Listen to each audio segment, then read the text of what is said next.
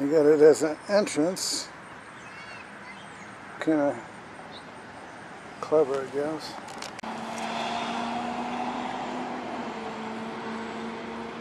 The Toyota Camry. 25 years from now, your Toyota Camry will be in a junkyard and you will likely be in heaven or hell.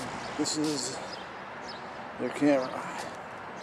Their, no, their fence. Parking for Concheros guests only.